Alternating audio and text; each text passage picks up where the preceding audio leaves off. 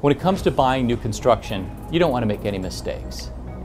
And when it comes to design and construction experience, both the builder and architect each have decades of experience on 430 East Fuller in Hinsdale. The appeal of this home is the openness of the floor plan. It has a distinct energy. Let's take a look inside, see if you can feel that energy.